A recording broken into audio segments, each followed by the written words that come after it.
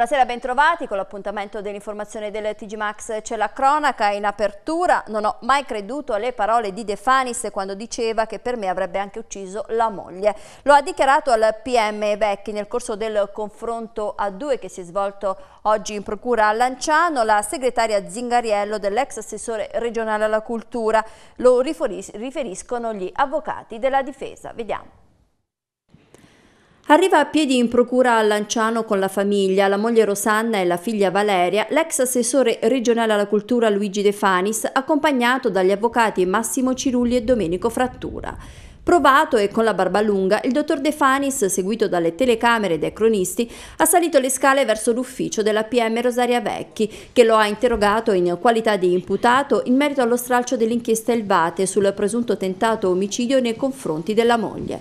Nel corso dell'interrogatorio, De Fanis si è dichiarato innocente, ha riferito brevemente l'avvocato Cirulli alla stampa, in attesa per ore nei corridoi del tribunale. E rispondendo alle domande dei giornalisti, il difensore ha aggiunto, parafrasando Marx, qui per fortuna la farsa non si è tramutata in tragedia. Allora, eh, chi era Marx che diceva che a volte che la tragedia si muta in farsa? Per fortuna qui la farsa non si è mutata in tragedia. Grazie.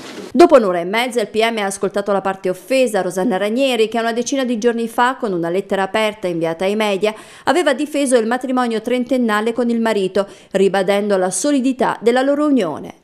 Alle due del pomeriggio è stata la volta della ex segretaria accompagnata dall'avvocato Umberto Del Re. Lucia Zingariello si è sottratta alle telecamere, prima entrando e poi uscendo da un ingresso secondario, coprendosi con una sciarpa da cui spuntano tuttavia i capelli, due mesi fa biondi e ora tinti di scuro. Sta cercando di proteggere la sua privacy, ha detto il legale parlando con i giornalisti, e di proteggere la figlia di otto anni.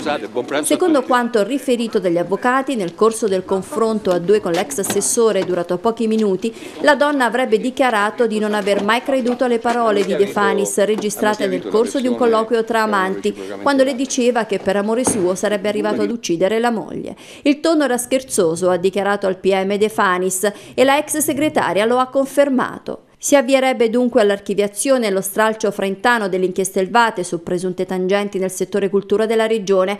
L'ex assessore, decaduto anche dalla carica di consigliere regionale, è l'unico indagato ancora agli arresti domiciliari dal 12 novembre scorso. Il Tribunale del riesame si pronuncerà il 6 febbraio. Una domanda oggi resta in evasa. Quale motivo avesse la segretaria di registrare il colloquio con l'amante? La pagina politica Lanciano e il sindaco Mario Pupillo oggi ha confermato tutti gli assessori della giunta azzerata due settimane fa. Per sé ha tenuto la delega allo sport e Pino Valente di Progetto Lanciano resta vice sindaco. Sindaco ha aggiustato tutto senza cambiare nulla e ha precisato qui oggi non si è fatto il gioco delle poltrone.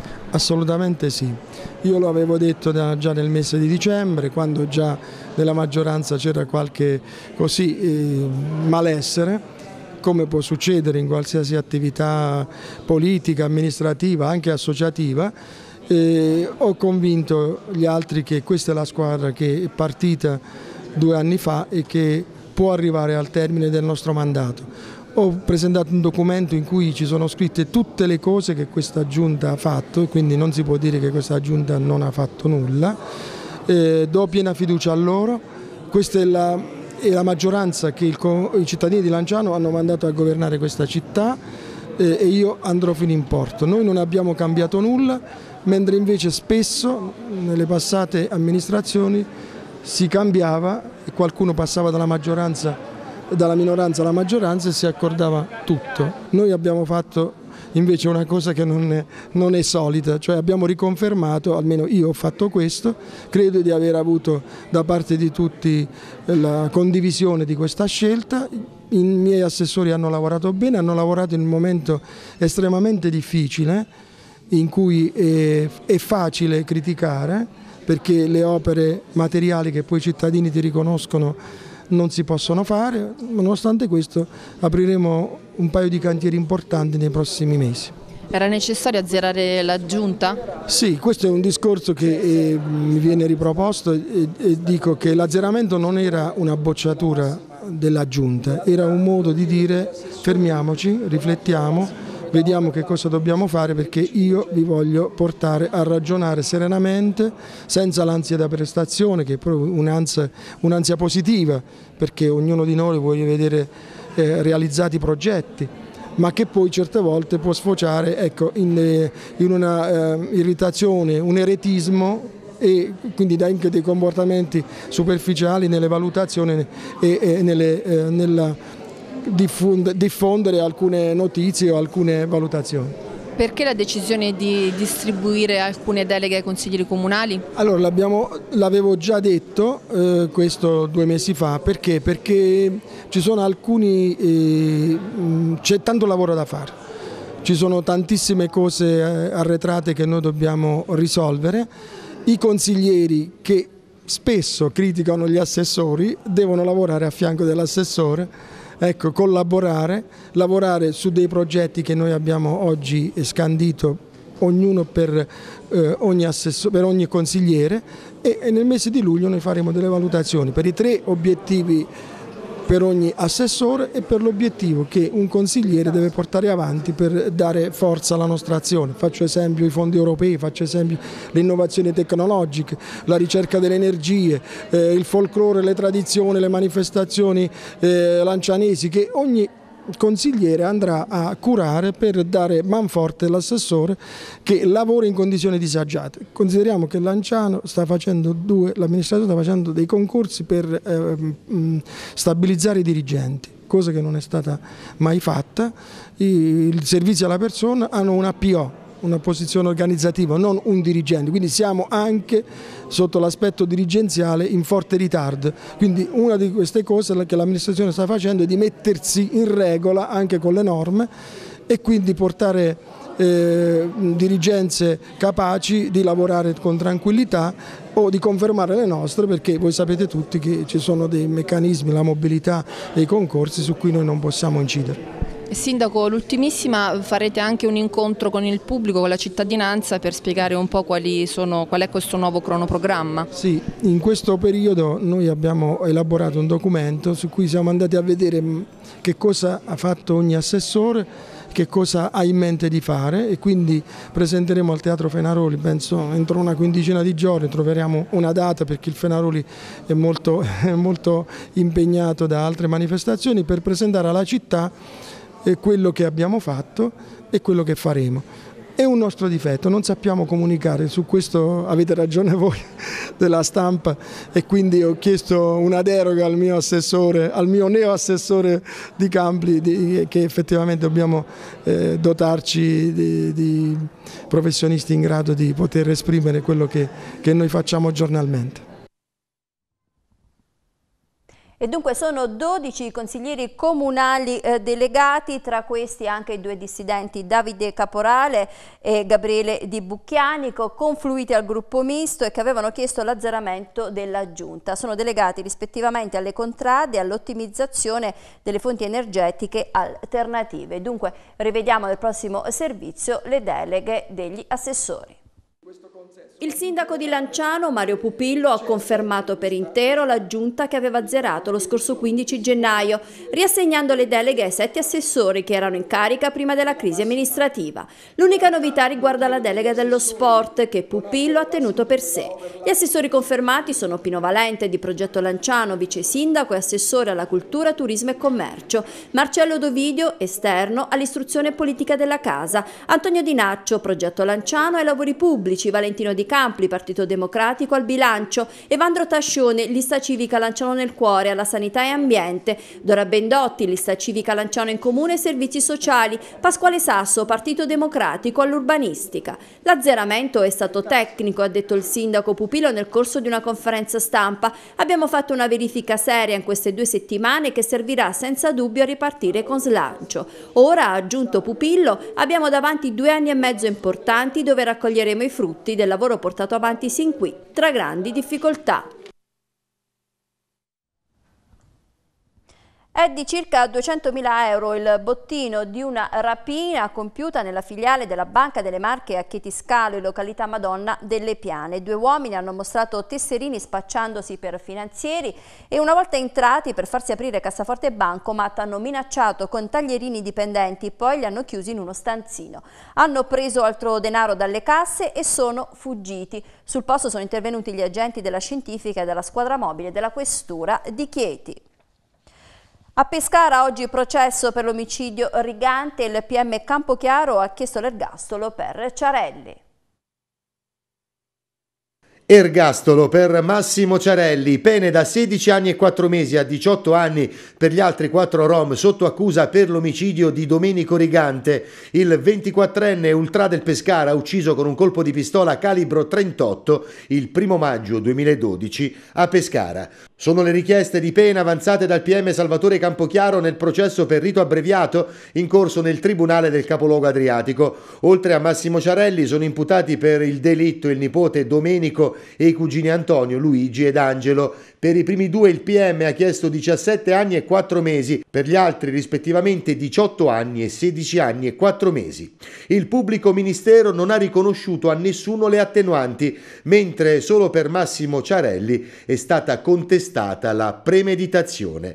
Prima delle richieste del PM, in aula ha preso la parola proprio Massimo Ciarelli, difeso dall'avvocato Carlo Taormina. Ciarelli ha affermato di aver sparato accidentalmente durante la colluttazione, dunque non voleva uccidere. Fuori dall'aula l'avvocato Taormina ha dichiarato come Massimo Ciarelli sia stato aggredito da oltre 20 persone. In aula durante il processo erano presenti i familiari di Rigante. Anche oggi grande dispiegamento a Palazzo di Giustizia di forze dell'ordine. La prossima udienza è stata fissata per il prossimo 3 febbraio e sarà dedicata alle arringhe difensive.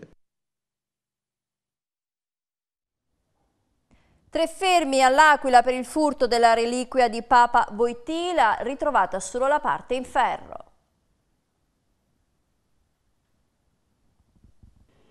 La parte in ferro della reliquia con il sangue di Papa Wojtyla, rubata dalla chiesa di San Pietro della Ienca, è stata rinvenuta stamattina dalla squadra mobile dell'Aquila nella sede del CERT a Collemaggio, fermati tre tossicodipendenti poco più che diciottenni.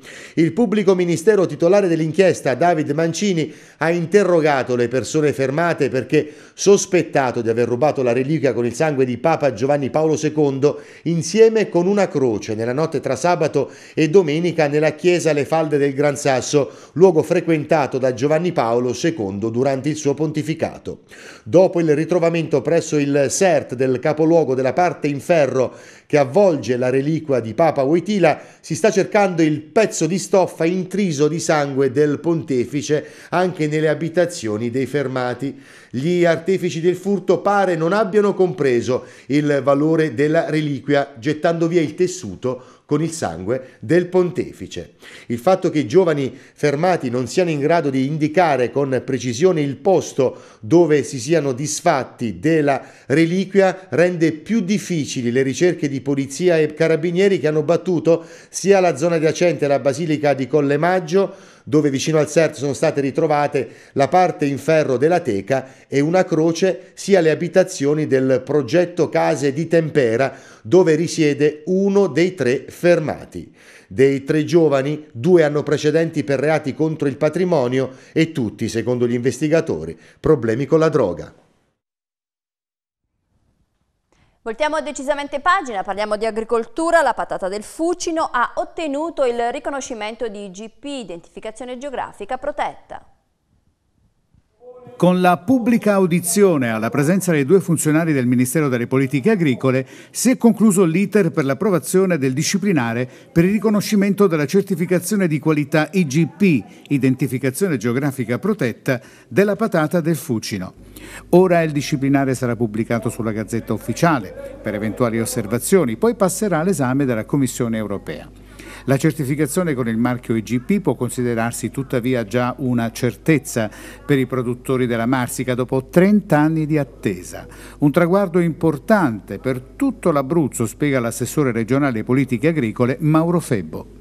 Assolutamente sì, perché il Fucino rappresenta il 25% del prodotto interno lordo in tema, in tema agricolo, ha un'occupazione di oltre 9.000 dipendenti, quindi credo che sia eh, importante questo eh, riconoscimento per un prodotto per cui l'Abruzzo viene spesso identificato. La certificazione IGP darà grande slancio alla produzione, ne è convinto il presidente dell'Associazione Marsicana Produttori Patate, Rodolfo Di Pasquale. Noi non siamo conosciuti né in Italia né in Europa, ma con questo marchio finalmente saremo conosciuti e il consumo sarà superiore e questo già è tanto per eh, i produttori del Fucino. Sulla stessa linea l'assessore agricoltura del comune di Avezzano Francesco Pacciotti.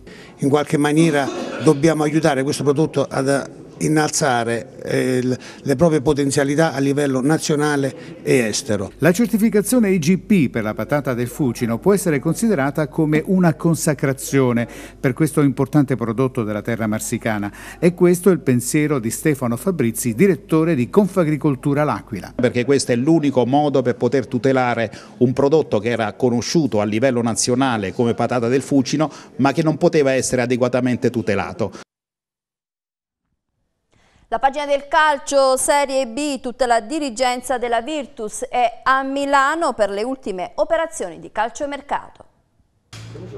Calciomercato che potrebbe riservare sorprese per la Virtus che ha mosso tutto lo Stato Maggiore per le ultime operazioni milanesi, il che potrebbe rappresentare un segnale ben preciso Stamattina hanno infatti raggiunto il capoluogo lombardo la presidentessa Valentina Maio, il vice Guglielmo, il DS Leone, il segretario generale Claudio Di Menno di Bucchianico e in più il direttore tecnico Roberto D'Aversa. Come anticipato ieri, ormai arrivata a conclusione positiva l'operazione con la Juventus che ha chiesto la metà dell'attaccante di prospettiva Mame Baba Tiam che resterà però in rossonero fino a giugno la Virtus ottiene dunque soldi dalla vecchia signora e il portiere rumeno Branescu, titolare dell'Under 21, attualmente alla Juve Stabia. Ovvio che uno tra amabile e aridità e con le valigie pronte. Bell'affare, visto che Tiam è stato ingaggiato a parametro zero e che dopo qualche mese la società ha già valorizzato con soldi pesanti in cassa e un portiere giovane interessante in rossonero. Ore calde anche per un acquisto e una conseguente cessione. Ante Rebic dalla Fiorentina attaccante croato classe 93, è stato chiesto ufficialmente ai Viola che gradirebbero valorizzarlo in Serie B. In partenza Leonardo Gatto che a questo punto diventerebbe un surplus sulle sue tracce Latina o Cittadella. Difficile che Falcinelli sia ceduto a Spezia o Varese, ma in queste ore tutto potrà ancora accadere. E ieri rossonero positivo, trasmissione ufficiale Virtus, tutte queste anticipazioni erano state già fornite ai telespettatori. Presenti Vittorio Spadano, lo sportivo Giancarlo Micolucci e il difensore rossonero Stefano Ferrario, autore di un'ottima prestazione contro il Brescia e anche in tv. Intanto la squadra partirà domattina da Roma, destinazione Reggio Calabria e la partita sarà arbitrata dal signor Di Bello di Brindisi. Sponda Regina sentiamo Maicon da Silva che spiega bene quali sono le intenzioni dei Granata dopo il successo di Bari. Bari è stato importante, però ora sarà ancora più importante la partita contro il Lanciano perché dobbiamo cercare di lanciare un segnale positivo a noi stessi e anche agli altri per, per fargli vedere che la regina c'è. Eh, ho saputo che anche la società ha fatto un certo, un certo, una certa promozione con i biglietti, speriamo che i, tifosi, i nostri tifosi vengano allo stadio e ci sostengano per, in questa partita che è importantissima. Ed ora Pescara ha trovato il rinforzo a centrocampo in arrivo dal Chievo Roberto Guana. Individuato il rinforzo a centrocampo, il Pescara stringe per Guana del Chievo, lunga carriera, quella di Roberto Guana, classe 81, sempre tra Serie A e Serie B, bravo a centrocampo in posizione centrale sia come interditore che come mediano di impostazione davanti alla difesa. Le parti sono d'accordo su tutto e la ratifica dell'operazione è addirittura d'arrivo. Ufficialmente sfumato invece l'acquisto di Ruben Olivera, il centrocampista viola si è legato al Brescia di Bergodi, altra notizia ufficiale. Per il reparto avanzato, in attesa di cedere finalmente Vukusic, avanza l'ipotesi relativa a Federico Gerardi della Regina, classe 87, prima punta, forte fisicamente nel gioco aereo, giocatore dotato di buona tecnica individuale, abile, spesso di sponda per far salire la squadra. Terminata la sessione di calciomercato invernale si discuterà sui rinnovi. Balzano è vicino alla firma di un biennale e la fumata bianca appare solo formalità e si pensa anche alla sfida col Trapani, col classico conto alla rovescia. Balzano. Incontriamo una squadra, quindi sappiamo che è una buona squadra, gioca bene a calcio, quindi eh, con la testa la affronti in un modo particolare, sei più attento perché è una squadra pericolosa. Noi dobbiamo fare la nostra partita e sicuramente saranno più preoccupati loro che noi. Questa è una grande cosa perché ci sono passato anch'io, quando vieni fuori e vinci un campionato hai voglia di dimostrare quello che vali, quindi hanno una grande forza e questo è molto pericoloso per noi. Dobbiamo avere più fame di loro, dobbiamo essere più cattivi di loro su tutti i fronti e sicuramente poi facendo questo vengono fuori le qualità e speriamo vada bene.